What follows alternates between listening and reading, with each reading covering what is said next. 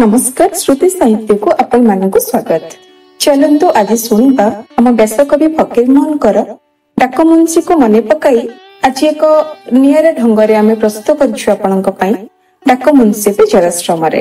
ମଲ୍ଲିକାସପୁରର ସେ ଶତାବ୍ଦୀ ତଳର ମଲ୍ଲି ବିଂଶ ଶତାବ୍ଦୀର ଶେଷାଗ୍ରରେ ଆଜି ବି ନିଜର ବାସ ପ୍ରକଟିତ କରୁଛି।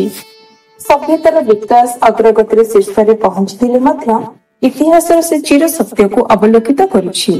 ସେଦିନର ସେ ଯୁଗସ୍ରଷ୍ଟଙ୍କ ଦିବ୍ୟ ଦୃଷ୍ଟିର ସେ ଯୁଗାନ୍ତକାରୀ ଦ୍ରଷ୍ଟବ୍ୟ ଆଜି ବି ଦୃଷ୍ଟିପାତ ହୁଏ ଆମ ସଭ୍ୟ ସମାଜର ଶିକ୍ଷିତ ଓ ସମ୍ଭ୍ରାନ୍ତମୟ ଜୀବନଶୈଳୀ ଭିତରେ ଊନବିଂଶ ଶତାବ୍ଦୀର ଆରମ୍ଭରେ ସେ କ୍ଷୁଣ୍ଣ ରୁଗ୍ଣ ସ୍ରଷ୍ଟଙ୍କ ଉକ୍ତି ଅଧ୍ୟାବଧି ବିଂଶ ଶତାବ୍ଦୀର ଦିବ୍ୟ ଦ୍ରଷ୍ଟାର ଅକାଟ୍ୟ ବଚନ ଭାବରେ ଦଣ୍ଡାୟମାନ ହେବ ତାହା ବିକଶିତ ମାନବ ସମାଜର କଳ୍ପନାର ପରିସର ବାହାରେ ନଥିଲା। ସେଦିନର ସମାଜ ପୂଜାରୀ ନୈତିକ ଶିକ୍ଷାର ମନ୍ତ୍ରବାହକ ଭାବରେ ସାରସ୍ୱତ ଲେଖନୀ ଚାଳନା କରୁଥିବା ଚିର ଶାଶ୍ୱତ ସ୍ରଷ୍ଟ ଫକୀର ମୋହନଙ୍କର ଡାକମୁଞ୍ଚିର ରୁଧିତ କଣ୍ଠର ଡାକ ଆଜି ବି ପ୍ରକମ୍ପିତ କରୁଛି ପ୍ରତିଟି ସାମାଜିକ ଜୀବନକୁ। କ୍ଷମତା ପିପାସୁ ସୁଖଲୋଭୀ ମଣିଷ ଆଜି ସୁଖର ମାୟାଜଲରେ ନିଜର ଅସ୍ତିତ୍ୱକୁ ଖୋଜୁ ଖୋଜୁ ଅଜାଣତରେ ଜୀବନର ଅସ୍ତିତ୍ୱକୁ ଭୁଲିବାରେ ଲାଗିଛି। ସେଦିନର ସେ ନିଃସହାୟ ହରିସିଂ ଆଜି ବି ଆମ ସମାଜରେ କିଛି ପରିବାରରେ ଏକ ଦୁର୍ବଳ ମନ ନେଇ ଏକ ନିଃସହାୟ ବାପା ଭାବରେ କେବେ ଗୁମୁରି ଗୁମୁରି କାନ୍ଦୁଛନ୍ତି ତ କେବେ ଆକଣ୍ଠ ଚିତ୍କାର କରୁଥିବାର ଶୁଣାଯାଉଛି। ସେଦିନ ହରିସିଂ ଓ ଗୋପାଳକୁ ମଣିଷ କରିବାକୁ ଯାଇ ସାହେବ ମାନଙ୍କର କେବେ ବାନ୍ଧ ସଫା କରିଥିଲେ ତ କେତେବେଳେ ପାଦ ଧରି ନେହୁରା ମଧ୍ୟ ହେଉଥିଲେ। ଆଜି ବି କୋଉଠି ନା କୋଉଠି ଗୋଟେ ବାପା ତା ସ୍ୱପ୍ନ ପୂରଣ କରିବାକୁ ଯାଇ ତା ପୁଅକୁ ମଣିଷ କରିବାକୁ ରାତି ରାତି ଉଜାଗର ରହି କାହାର ଗେଟ୍ ପାଖରେ କାହା ଘର ଜଗୁଛନ୍ତି ତ କେଉଁଠି ମୂଲ ମଜୁରୀ ଲାଗି ସବୁ ଟଙ୍କା ପୁଅ ପାଠ ପଢା ପାଇଁ ପଠାନ୍ତି। ବାପା ମା ସ୍ୱପ୍ନ ଦେଖନ୍ତି ପୁଅ ଆମର ଇଂରାଜୀ ପଢିବ ସାହେବ ହେବ ଆମ ନାଁ ରଖିବ। କିନ୍ତୁ ସେମିତି କଣ ହୁଏ କି? ନାହିଁ ନା। ପରିଶେଷରେ କଣ ହୁଏ? ଆମ ଶିକ୍ଷିତ ସମାଜରେ ବିନ୍ଦିମ ପିଟୁଥିବା ସଭ୍ୟ ମଣିଷ ନିଜ ଅହଙ୍କାରିତାର ଅଜ୍ଞାନରେ ଅସଭ୍ୟତାର ବ୍ରତ ପାଳିଛି। ବିକଶିତ ରାଷ୍ଟ୍ରର ମଣିଷ ନିଜ ଅଜାଣତରେ ପୁଣି ଜଙ୍ଗଲରେ ହିଂସ୍ର ଜନ୍ତୁ ପାଲଟି ଯାଉଛି ଆଧୁନିକତାକୁ ଆପଣାଇ ପରିବାର ନାଁରେ ପଶୁତ୍ୱକୁ ଆପଣାଉଛି ସେଦିନ ଯେଉଁ ସମାଜର ଅବ୍ୟବସ୍ଥା ଚିତ୍ରକୁ ଦେଖି ତାକୁ ବଦଳାଇବା ପାଇଁ ଆମ ବ୍ୟାସକବି ଫକୀର କଲମ ଧରିଥିଲେ ସେ ଯିବାକୁ ଶହେ ବର୍ଷ ଦେଇଥିଲେ ମଧ୍ୟ ସମାଜର ଅବସ୍ଥା ବଦଳିବା ପରିବର୍ତ୍ତେ ଆହୁରି ଅବହେଳିତ ହୋଇ ଏକ କଦର୍ଯ୍ୟ ରୂପ ଧାରଣ କଲାଣି। ସଭ୍ୟତାର ଅଗ୍ରଗତି ସହ ମଣିଷର ମଣିଷ ପରି ମରି ଅମଣିଷ ହୋଇଯାଉଛି।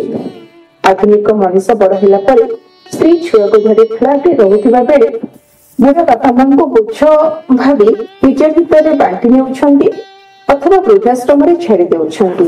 ଏହା ଭାବି ସେମାନେ ମହାନ କାମ କରୁଛନ୍ତି। ବାପା ମା ଏହି ସମୟରେ ବୃଦ୍ଧାଶ୍ରମରେ ଭଲରେ ରହିବେ ଯେଉଁ ବାପା ମା ଚାରି ପାଞ୍ଚଟା ପିଲାଙ୍କୁ ଏକା ପାଳି ପାରୁଥିଲେ ଏ ପାଞ୍ଚଟା ପିଲା ନିଜ ଭିତରେ ବାପା ମାଙ୍କୁ ପାଳି କରି ବାଣ୍ଟି ନେଉଛନ୍ତି। ବାପା ମା ଛୁଆର ଦେହ ଖରାପ ହେଲେ ରାତି ରାତି ଅନିଦ୍ରା ହୋଇ ଛୁଆର ମଙ୍ଗଳ କାମନା କରନ୍ତି। କିନ୍ତୁ ଆଜି ବୃଦ୍ଧ ବୟସରେ ଯଦି ବାପାଟି ରୋଗରେ ପଡି ଖଁ ଖଁ ହିଁ କାଶୁଛି ତା ପୁଅ ବୋହୂଙ୍କ ନିଦ ଖରାପ କରିଦଉଛି ବୋଉଟି ଗେରି କରି ହିଁ କହୁଛି ତୁମ ବାପାଙ୍କ କଥା ତୁମେ ବୁଝ ମୋ କଥା ମୁଁ ବୁଝୁଛି କେତେ କଷ୍ଟଦାୟକ ସତେ ନା ଯେଉଁ ବାପା ଦିନେ ସ୍ୱପ୍ନ ଦେଖୁଥିଲେ ପାଞ୍ଚ ଜଣଙ୍କ ପାଖରେ ପୁଅ ମୋର ପ୍ରଥମ ହେବ ପୁଅକୁ ଏତେ ଉପରକୁ ପଠେଇ ଦିଅନ୍ତି ଯେ ଯେତେବେଳେ ବାପା ମାଙ୍କର ଶେଷ ସମୟରେ ଜୁଇ ଜଳେ ପୁଅଟି ଦେଖିବାକୁ ମଧ୍ୟ ଆସିପାରେନି ସେ ଆକାଶ ମହାକାଶରେ ବିଚରଣ କରୁଥାଏ। ଏଥିପାଇଁ ତ ପୁଅଟି ଏକା ଦାୟୀ ନୁହେଁ କେଉଁଠି ନା କେଉଁଠି ବାପା ମା ମଧ୍ୟ ଦାୟୀ। ସେଦିନ ହରିସିଂ ସ୍ୱପ୍ନ ଦେଖିଥିଲେ ଗୋପାଳକୁ ମଣିଷ କରିବାକୁ। ନିଜର ସବୁ କିଛି ତ୍ୟାଗ କରିଦେଇଥିଲେ। କିନ୍ତୁ ଆଜି ଆମ ବାପା ମା ମାନେ କଣ କରୁଛନ୍ତି ବା ଆମେ ମାନେ କଣ କରୁଛନ୍ତି? ପିଲାଟି ଦିନରୁ ଆମ ଛୁଆଙ୍କୁ ଆମେ ଶିଖଉଛନ୍ତି ବାବା ତୁ କ୍ଲାସରେ ଫାଷ୍ଟ ହବ ସମସ୍ତଙ୍କ ଭିତରେ ପ୍ରଥମ ହବୁ।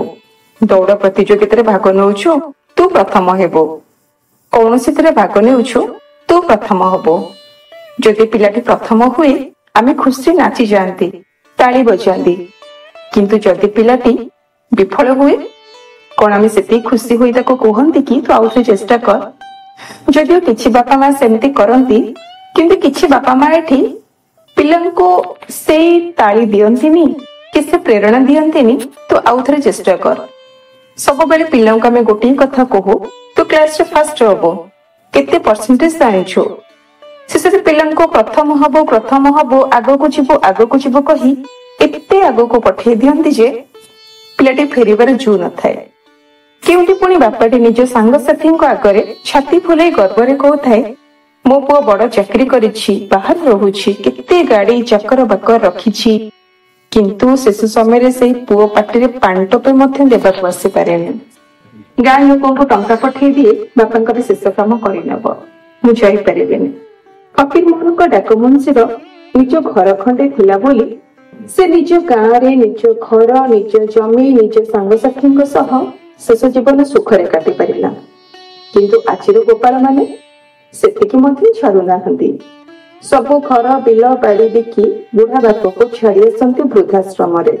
ହଁ ସେହି ଇଂରାଜୀ ଶିକ୍ଷିତ ଗୋପାଳ ମାନଙ୍କର ବର୍ଷକୁ ଥରେ ମନେ ପଡେ ବାପାଙ୍କ କଥା।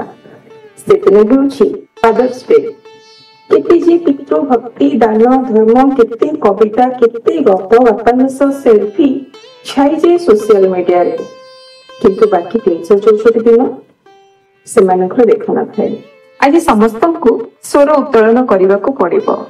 ଚାଲ ନିଜ ପାଇଁ ଯୋଉ ଗାତ ଖୋଳିଛନ୍ତି ସେ ଗାତ ଆମେ ନିଜେ ବନ୍ଦ କରିଦବା।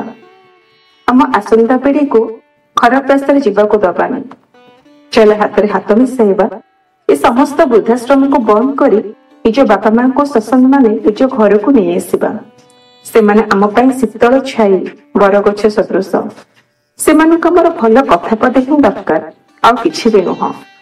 ଦିନେ ଯେଉଁ ହାତ ଆମକୁ ଚାଲି ଶିଖେଇଥିଲା ଯେଉଁ ହାତ ଧରି ଆମେ ଚାଲି ଶିଖିଥିଲେ ଆଜି ସେହି ହାତ ଆମ ହାତକୁ ଖୋଜୁଛି। ମିଠା କଥା ପଦେ ଦରକାର ଅନ୍ୟ କିଛି ବି ଦରକାର ନାହିଁ ତାଙ୍କୁ। ଶେଷରେ ଏତିକି କହିବି ଭୁଲି ଯାଉ ପଛେ ସଭିଙ୍କୁ ଭୁଲ ନାହିଁ ବାପା ମାଙ୍କୁ ଶାସ୍ତ୍ରରେ ମଧ୍ୟ ଅଛି ପିତା ସ୍ୱର୍ଗ ପିତା ଧର୍ମ ପିତା ହିଁ ପରମ ତପ ପିତାରେ ପ୍ରତିମା ପାନ୍ନେ ପ୍ରିୟନ୍ତି ସର୍ବଦେବତା। ପିତାମାତାଙ୍କୁ ଅବହେଳା ବା ଆଘାତ ଦେଇ କେହି କେବେ ଭଗବାନଙ୍କ ପ୍ରିୟ ପାତ୍ର ହୋଇପାରେନି। ସେମାନଙ୍କୁ ଛାଡି ସବୁ ଧର୍ମ କର୍ମ ନିଷ୍ଫଳ। ଧନ ଦୌଲତ ସବୁ ମିଳିବ କିନ୍ତୁ ବାପା ମା କେବେ ଆଉ ମିଳିବେନି। ଚାଲ ତାଙ୍କରି ହାତ ଧରି ତାଙ୍କରି ଆଶୀର୍ବାଦ ଗ୍ରହଣ କରିବା ଏବଂ ଆମ ନୂତନ ପିଢିକୁ ଏହି ବାର୍ତ୍ତା ଦେବା। ଆମେ କଲେ ତ ସେମାନେ ଶିଖିବେ? ଧନ୍ୟବାଦ। ଏଇଠି ଶେଷ ହେଲା ଡାକ ମୁନିସିପାଲରେ ଜରାଶ୍ରମରେ ବା ବୃଦ୍ଧାଶ୍ରମରେ। ଆପଣଙ୍କୁ ଆମ ଲେଖା କିପରି ଲାଗିଲା? କମେଣ୍ଟ କରିକି ନିହାତି ଜଣେଇବେ। ଏବଂ ଯଦି ଆପଣଙ୍କୁ କୌଣସି ରାଇଟରଙ୍କର କିଛି ବି ଶୁଣିବାକୁ ଥିବ କୌଣସି ଗପ ଆମ କମେଣ୍ଟ ମାଧ୍ୟମରେ ଜଣେଇଲେ ଆମେ ଆପଣଙ୍କ ଆଗରେ ଉପସ୍ଥାପନ କରିବା ପାଇଁ ଚେଷ୍ଟା କରିବୁ। ଧନ୍ୟବାଦ। ନମସ୍କାର।